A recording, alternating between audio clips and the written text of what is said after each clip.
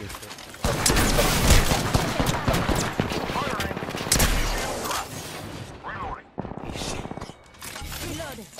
I am repairing myself.